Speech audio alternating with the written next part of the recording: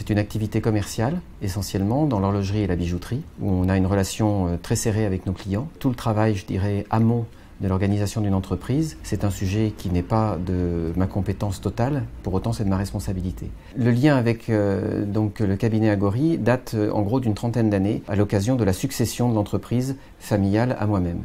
Donc là on était accompagnés de façon très étroite et c'est Brigitte Merkel qui nous suit donc depuis plusieurs décennies et qui est vraiment, je peux dire, à mes côtés pour euh, me prévenir des situations à venir, donc en anticipation très régulière, et qui dans l'opérationnel est régulièrement bien à jour. Donc je, suis complètement détaché et, confiant sur tout ce qui est suivi administratif et fiscal.